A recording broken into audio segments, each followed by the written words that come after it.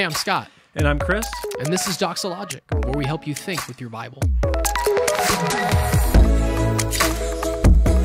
Let's jump right in. The first question reads like this Is surrogacy biblical, or should those unable to have their own children adopt instead? Surrogacy. Surrogacy. So we're talking um, carrying another person's baby, Yes. correct? Yep. Surrogacy. Is surrogacy biblical? Yes. Is the question. Mm-hmm. Or should you look to a, a, a adoption? Mm-hmm. Do, can we uh, just maybe because I don't know, I don't want to presume more than I know. This is a phenomenally modern reality, right? Yes. Being able to even have this conversation Sure. is because of the development of medicine and technology and Sure. right. So so is it biblical? Right, I was not like that out. not as in in a Bible verse that would support or deny it because Right. it was not only not a thing, so far from being a thing, Right. Until maybe the last generation Maybe more uh, of like of history. Yeah, maybe it's more like a like a moral obligation. Like if you can't have your own children, but you desire to have children, um, should you adopt rather than going through a surrogacy process? Okay. which would be some uh, someone else. There's agencies for those, or maybe it's someone you know uh, carrying a, basically a fertilized egg, of but your Your stuff. your stuff and someone else. Yeah, Right. Yeah. Well, first thing I would say is that that's not a biblical reality because the Bible was written far before surrogacy was a reality. Um, I think there's wisdom principles, and I think the question is probably more appropriately appropriately um, asked as: Is it is it ungodly? Is it not okay to go that route? Is it immoral? Uh, to go that route, I mean, and, and it doesn't tie into IVF and those kind of treatments that, that people have now. It's just specifically surrogacy. So you know, we can address we can address that specific issue. Um, it- what I would say about adoption in general is if God gives you a heart and an opportunity, pursue it. I mean, I think adoption's a great opportunity. I think it's a great uh, blessing. I think it's a great picture of what God had, in Christ has done for us. Right. And so I, I would just want our hearts, i- if the Lord tends to lead us in a direction where it's like, man, we, we're not able to have kids, I'm not weighing into the morality of surrogacy as saying, oh, that's bad necessarily. But if the idea is I'm, I'm on the fence and I'm not sure which way to go, I'm thinking adoption is a great, great blessing from the Lord. I get the idea that there's something special about seeing what your wife uh, and husband, the DNA, when it comes together and has a baby, and you can see parts of you in those kids, that's a very special reality. I get that. Um, but adoption is a very special um, privilege and opportunity that any Christian who is able to engage in adoption and adopt a son or daughter is truly doing something blessed, you know? So I guess I'd want to start on the adoption side first before Yeah. I even weigh into the surrogacy aspect. yeah, and in surrogacy, it's not like guaranteed that whomever your surrogate is would become pregnant and like guarantee that they would be actually be carrying your child. Where I feel like you could also make an argument like just because you are applying for adoption doesn't mean that you'll be selected Yeah. to be an adoptive parent. Right. Yeah. Yeah, and I and I don't know the stats on surrogacy, but I would imagine, like you said, it's not uh, uh, entirely effective, and, and you are messing with an egg that's been fertilized and Then transferred and transferred to the surrogate. carrier Um, surrogate. Yeah. and and so um, there's definitely some ethical realities in there that you want to you know you don't want to be flimsy with a human life you know and if human life starts at conception uh, and we're talking about what aspect does that play into um, engaging in the surrogacy process i would say that would hem me in for sure um, I'm, I'm not trying to be flippant with human life as it in its even earliest inception forms in that transfer and all those kind of things. And so it becomes a little bit complicated on that level for sure. I've I've met with people various at various times reg- regarding IVF, never about surrogacy specifically. But the, the general principle that I've always tried to give them is whatever you're going to do, can you do it by faith? Or are you doing it to control the destiny of my family Sure. type of thing? So if it's going to be adoption, are you doing that because you really you're not trusting the Lord to provide for you through the natural means, or do you feel a calling to adoption? Then mm-hmm. all day long, go the adoption route. Maybe surrogacy could fall into the same place of like, can you do it with an open hand before God, or are you believing that you're creating a um, an almost like a mathematical equation that this is the route that I control, that I get the child that I want, that Right. God hasn't given me because He's not being good to me. So can you do it in faith? If you can't, then don't. It, it is sin. What you what you're doing that's not in faith is going to be ultimately sin. You're going to be controlling your life, or it's it's distrust in the Lord. And so. I think it falls um, in in surrogacy the conversation as well. Yeah, mm-hmm. it's helpful instruction. Mm-hmm. for and let your conscience lead you right? Mm-hmm. Be informed by the word and let your conscience lead you. Understand what a human life is. Understand the, the the the risks that go into something like that and let it shape your decision making but i don't think it's as black and white as is it biblical? Uh, I, I think to, to what you said chris that's a great framework to think through it. And i bet that's freeing to whoever asked that question. Yeah, for sure. Cool. Thanks, guys.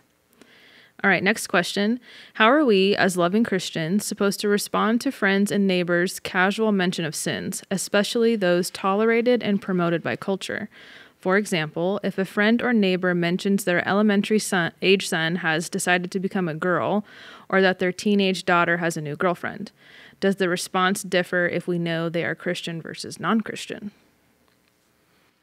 well we're not supposed to judge Judge not, Matthew seven. judge not matthew 7 the answer to everything right Mm-hmm. Was that a joke? That's Yes, a joke. it's a joke. He's like, It wait a minute. It's like it's a joke because it conflicts with so many other passages of scripture. But Right. we, we Christians love that passage, right? Uh, taken out of you're not supposed to judge uh, the motive of the heart. You're not supposed to judge hypocritically. Uh, you need to judge introspectively before you judge others. Um, so there's definitely aspects that you that hem in your judging, but you you best be sure there is a judgment that is supposed to come. Um, So I'm thinking 1 Corinthians five. Yep, same. Okay. Um, here already, and just the may, maybe the most important part to delineate for this person who wrote the question is the last part. Is that is is there a difference? I think is what it said. But Yeah, between- does the response differ if we know they're Christian versus non-Christian? I would- I Yep, would yep, say absolutely. yep. Uh, so, so on the general side, it's that you never take that lightly. Now, the two examples given are very concrete examples, which leads me to wonder if that's really like specific to their situation, because there's other things that people flippantly talk about as well. You know, like uh, I don't know, cheating or lying on their taxes or something. You're like, well, I, I don't really know if I'm going to do anything with that information. This is like life changing realities in in people's lives that you're neighbors with, right? So can you speak up to the non-christian about the truth about god's word about god's good design for human sexuality because both of those i believe were related to that yes you Right. can but but the responsibility to do so does differ i would say with the christian to the non-christian. 1 corinthians 5.12 paul says for what have i to do with judging outsiders as in non-christians outside the church? Uh, is it not those inside the church whom you are to judge? And that's a question but with a rhetorical affirmative. Is it not? It is. Those inside the church whom you are to judge. God judges those outside purge the evil person from among you he says Yeah, and I would say the difference between the uh, responsibility of the Christian and the non Christian is God judges those. That's serious, right? God's judgment. And, and I think that's in an ultimate sense. Like you stay in your sin, you're going to be judged for that. And so we bring the unbeliever the gospel. And so you've got a beeline from the casual approach to sin to somehow, God, give me words, give me questions that allow us to confront this for what it is, for Him to at least see that it's not in line with God's law, not in line with God's standard, Created order. created order, Yeah. the goodness of how He designed things to be, and that walking casually in opposition to that is sinful. And if there's no grasp of sin, we, we've been talking about this in First Timothy. Jesus, this is a saying that's trustworthy and deserving of full acceptance. So Jesus Christ came into the world to save sinners. So when they're casual about their sin, what what's the I think what the struggle is with the unbeliever is helping them see sin for what it is, so you can point them to Jesus. Right? We're always looking for gospel evan- evangelistic conversations versus the the believer who's walking in casual sin, you, you need to straight up, you know, have a, a- conversation with that person. It may not, and here's the thing though, with your neighbor, and I want to be careful about this. Like it may not be your responsibility because they go to a church, hopefully, right? They're involved in fellowship with other people. They're in Bible studies. They're under local authority of their elders and those kind of things. And hopefully those conversations are being had. Good shepherds and good leaders in the church are going to be able to address that. That may not be the neighbor's issue to address, but it would certainly be a concern. And so the first thing I would probably do is number one, as soon as I'm hearing that, I'm going, I'm committing this to prayer. I'm going to be for sure praying. And number two, I'm going to ask questions instead of start a, a just directly getting into the conversation. I'm going to ask questions about what they believe about this. What do they believe the Bible says? What, you, what does your church say about this? If they go to, do you go to church? I'm going to be asking a lot of questions and do a bit of mm-hmm. inventory before, even though, yes, we are to judge the, the Christian, I want a lot more information in the form of question asking before I'm asserting anything. That's good. Yeah.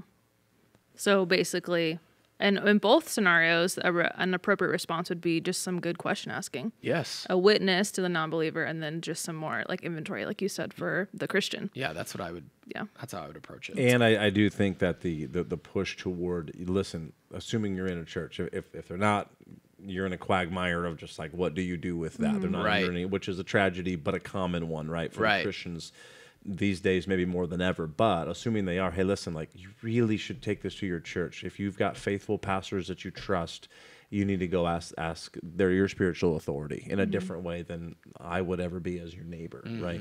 that's Totally. good. Yeah. Or a question like, "Oh, have you talked to your pastor about that?" Right. And then, you know, I'm sure a conversation would open up from there. Yeah. Yeah. Yeah. Cool. Thanks, guys. Uh, next question: Is it wrong for a Christian to use temporary or permanent birth control? Aren't we supposed to trust God's plan over ours? But what about when we feel we are maxed out? And I'm assuming maxed out means we got a lot of kids, guys. We're we're done.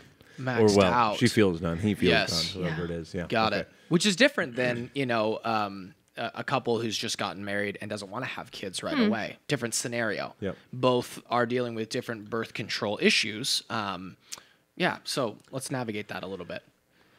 Do you want me to start there? Well, um, thinking to, to make the open disclaimer that Christians disagree on this. There are Christians that would say birth control of all forms should be not part of the Christian life. Yeah. Um, and, and ones that we respect. Um, but the difference also of what kind of birth control it is, right? Because there's a there's birth controls and that they can all be pills. So it's not just like the pill because there's so many varieties, but there, there are those that terminate life Correct. upon conception. Called abortifacients. Yes, Yeah. thank you. Versus um, versus preventing it from taking place. Right. And we would overall, I believe, and I'll go first, and you know, uh, that's okay if you would sit, take a different stance. Is say that second option, which is a preventative from it even happening, can be done. Um, particularly when it's being done in a manner to say, um, we believe the Lord would have us, whether it would be school that you're involved in, whether it would be certain realities of your life, to say we're we're needing to wait, and we believe God would have us to wait.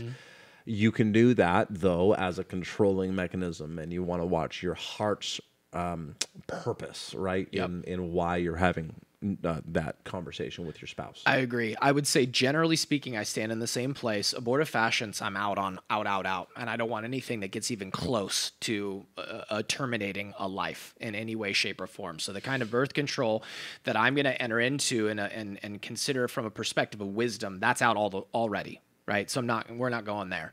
Um, but then when it comes to like the prevention, like you said, like uh, I would be guessing vasectomy, uh, it'd be on the Well, ma- that's we are maxed out, right? uh, Yeah. The more permanent part, options. Yeah. Um, or okay, so but diff- that's the kind of stuff we're talking about, which obviously wouldn't be the same kind of birth control you'd be pursuing as a newly married couple. But uh, nonetheless, you know, in that, I think um, it's some of it is. Um, yes, procreation is part of uh, God's good design, but there's also a stewardship part to, to you know handling everything that the Lord has entrusted to you, and um, you need to assess that. And I think to your earlier point, Chris, about doing it by faith, you need to assess, given your circumstances, you know, um, you know, the situation of your your lifestyle, job, all, all those things are going to weigh into your capacities. You know, if you're if you're so heavily involved in ministry, it might affect what you can give to your kids, those kind of things, that could hmm. all be factors potentially. I'm not saying they necessarily are. I'm just trying to give scenarios into understanding like, wait a minute, as I consider my life as a steward and what God has entrusted to me, um, yes, you can always do it by doubt. You can always do it by fear and go, no, this is too much, this is too much, and then close it off prematurely. But again, if you're seeking the Lord by faith, if you're wanting to do everything to glorify Him, if you're open to, Lord, whatever you have, but as we seek you and have confidence that this is a good stewardship for us, you know, I, I do think there it's within the realm of okay to pursue certain forms of birth control when you are quote maxed out which we are taking to mean we've got the we've got our quiver full as the, the book of psalms would say right? Um, we have our quiver full and uh, we're really grateful and we want to be good stewards of those kids. We want to put in the you know the time that we can to invest in their lives. And each family's going to make a different um, you know call that a different place call that at a different amount of kids. And we really shouldn't i don't think it, when you're in that realm what we're talking about that you should cast judgment on others for their decision in that process. Some may never say that. Some may just go we're going to keep it open forever. And it's going to be the easiest way for us in good conscience to say god's in control. Yes and praise god to that. But let's not judge someone else who makes a different decision and goes you know what? This is our stewardship. We're going to call Yeah. it here. That's good. Super helpful. All right, moving on. As a new husband who enjoys reading a ton, how do I coincide that with guiding my wife better spiritually, who to this point doesn't share much of an interest in reading, researching, or diving deeper theologically? Seen, I, don't know why it's funny to me. We've seen this one a few times. Yeah. uh, no doubt. Yeah. In the life of the church here, it's an interesting. Um, dilemma is probably too strong, but it feels like it to the husband probably who who does love that. But I think that one. Uh, one place is to to start for me would be to watch uh, watch out for the moral equivalency of how much you love to read with how much she may not. Now, I do want to say that the word is being taken in foundationally, consistently by both husband and wife is not part of this conversation. It's the idea of the reading via research and doctrine and or church history buff or love your reformational doctrines and you get all geeked out nerding into certain you know either creeds or 1689 versus Westminster confessions all the all these things. I just want to watch out for the moral equivalency, husband, um, where your wife doesn't match that, and and just to start there to say um, you can desire more for her, but it may it's probably not needing to go the route of it's a sin thing for her that she doesn't love it as much as I do. Yeah. And I'm thinking in my mind, don't repel her by mm. your love for reading. So, By demanding she do it like right, you do, right, example. or or by uh, not engaging in certain responsibilities, certain ways of serving the family Yeah. because you think you're doing the spiritual thing of reading. All right, reading is a blessing. I'm so glad this guy loves to read. Praise God. I hope the reading though is affecting his heart. Right, all of our reading, all of our growth in theology should be developing character in us, should be developing humility, humility in us. And I go back to discipleship. Uh, deny yourself. Like one of the greatest things you could be showing your wife right now, depending on how reading, how does she view reading? Is she just not as into it as you, or does she a little bit put off by how much you're hmm. reading?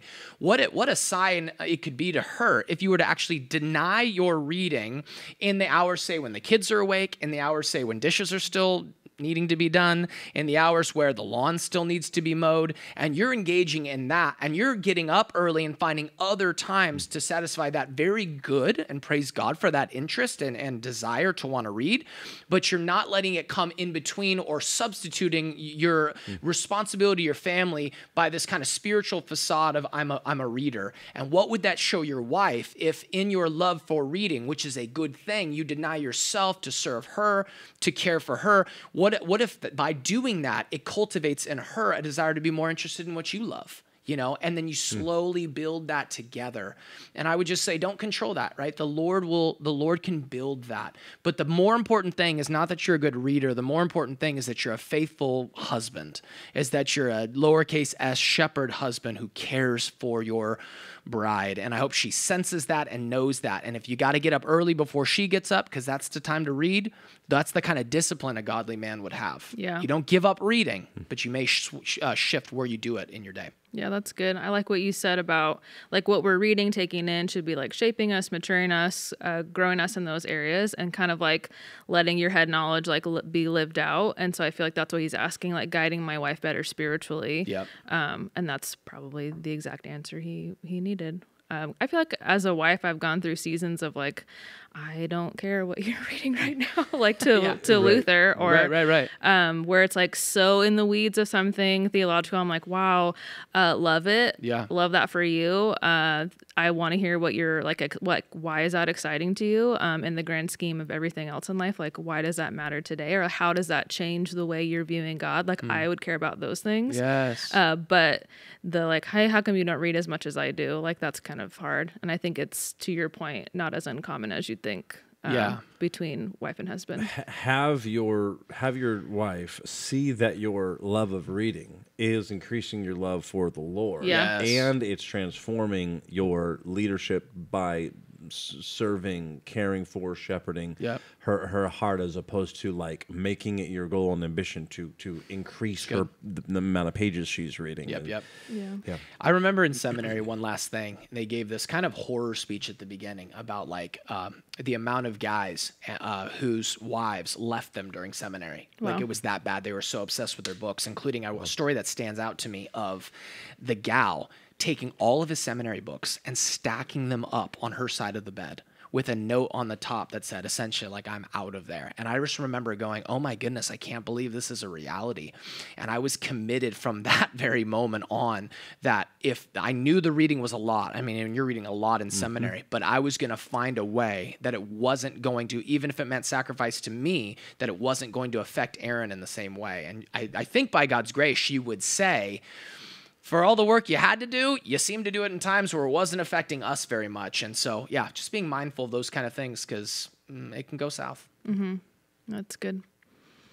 All right, last question. Does Doxa have a particular view of the millennium? We we do on our doctrinal statement. What do we mean when we say millennium?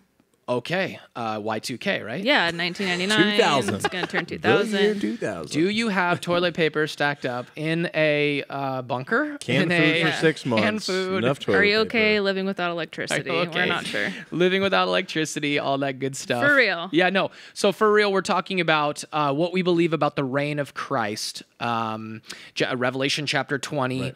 Um, Daniel chapter 9, you're going to get into some of that stuff as well. Um, this thousand year reign. How is that to be understood? Three major positions premillennial. and There's two aspects of premillennialism, which means Christ would return before the millennium. Pre, before. Pre, before. Then there's a millennium, uh, millennialism, which is no, ah, no millennium, uh, which is honestly kind of the sad brother of postmillennialism. There was really pre and postmillennialism originally, um, and not even to those kind of strength of positions. If you go back to the early church, they weren't as obsessed with the millennium as we are today. It was really about uh, the physical a bodily return of Jesus Christ and the real physical resurrection of the dead. Yeah. Right. Uh, some to everlasting life and others to judgment. Right. And that whole uh, that's whole whole reality. And so, um, so we do state a position where we we state a premillennial position there. But I will say this: there are people on our staff who, for good reason, hold the um, the awe and the post millennial position. And there's good banter about this. This is one of the areas of um, theology that I would say is a third level or a tertiary level doctrine. So when I say first level, if you don't believe first level doctrines, you're not a Christian. Right. Second level doctrine is if you don't believe certain second level things, it probably means you go to a different church. Yeah, we're going to call each other brothers and sisters Brothers, in the Lord, yes. but we're not going to fellowship at the same At church, the same serve at the church. same church. There's- Exactly. There are meaningful, meaningful distinctions that would separate us. But you're a Christian, and we love each other, and we can um, we can partner in the gospel. right. Yes, that's important. And then there is the tertiary issues, which is something like eschatology. And I think eschatology in our day is really built on the millennium. And that's why probably the question was asked. And we would say at Doxa, there is space to flesh that out here. There is space to have rich conversation, rich argumentation, a rich understanding of how to interpret certain texts. And it's not just Revelation 20. In fact, if, when you get into a, a, developing of an eschatology, which I highly recommend, turns out it was very important to Jesus, there's a lot more in the parables that than you think. There's a lot in understanding the Old Testament and the New Testament and the way the New Testament leverages the Old Testament. Anyway, so it's beyond the question, but it is to say this is a, a, robust, we can have those conversations and fellowship within the same church together yeah. and push each other and hold each other to the text of Scripture that uh, would defend whatever position seems to be the best. Um, and, and, every position, because they are positions that have become more or less systems of how things are seen, right. have got legitimate, call it pushback or weaknesses, precisely because scriptures, the scriptures don't name a particular position. Right. And so we've, we, the we of church history, church leadership, the the how, who knows how much ink has been spilled on this now, are doing our best to get to a most biblically faithful reading of what to expect in the end times or your eschatology, right? right? So those are the the yes, they have millennium in or millennial and then pre ah and then post millennial that Christ will return after a, a very long period of time in which the world, uh, a la Matthew 28 and go and make disciples of all the nations, the belief of the post millennial is the firm belief that the Matthew 28 Great Commission will be successful because God doesn't fail. And the Spirit will see that over time and a very long period of time, probably shockingly long period of time, if you're in a premillennial perspective, they would say we may have thousands of years left at this because the Christianization of the world, not universalism, unless you get a wonky postmillennialism, which is unfaithful, but a Christianization of the nations by discipleship and gospel proclamation is where postmillennialism will say that's where we're headed. And so I mean, man, it's been a three year journey for me. I, I can remember, um, to my shame, how many conversations I've been in when I've been a pastor in this church in the early years. As soon as someone wanted to bring this up, I was just looking for the exit signs of the conversation. How do I get out of this? Partly because I didn't understand the issues very well. Mm-hmm. I didn't even understand them well enough to poke at them from where they're coming from, and the, and it just fell on me. I remember talking to you probably in the middle of 2018, and, mm-hmm. and you you helped point me to some of the best arguments biblically from each position. God got those books multiple thousands of pages later just to say it's still a journey I'm on, but mm-hmm. that I mm-hmm. understand each position yes. better than I ever have. Right. And I'm now happy to have the conversation because mm-hmm. is, I would say, the the most important thing. Uh, well, that, that's probably saying too much, but a very important thing is that we are optimistic of Christ's reign and ultimate reign, rule, and victory. How he's going to flesh that out, we can have that conversation. It should be a banter conversation, not a you know argumentative one per se. Sure. But that he will, he is reigning, and he will reign victorious, so that we have a momentum as opposed to a defeatist mentality. Right. Some Christians have a defeatist mentality. It's all getting worse. It's only going to get worse, and so why don't I hide in my house and not live for the mission of God's kingdom. Hmm. And I would say, just on a fundamental level, that's where we, we can't accept that defeatism in the gospel if we have the Holy Spirit. Right. Inconsistent. I know we're going well beyond the millennium right now, but the, the historic premillennial position is right. the that's on the page of that's on the page the, of, website, of the right? Website. And that that's an important and valuable position to learn if you don't know it. But um, but it is it's it's a joy to be at a church where that's not something that takes such center stage that we're divided over it. Yeah. Super helpful, guys. Thanks so much. Well, that concludes this mailbag episode. Thanks, guys, for listening, and we'll see you next time.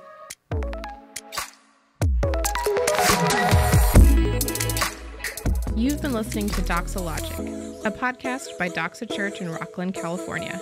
To learn more, visit doxachurch.net.